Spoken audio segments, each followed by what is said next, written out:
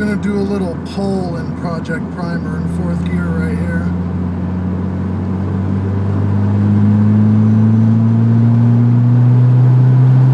Foot's to the floor now.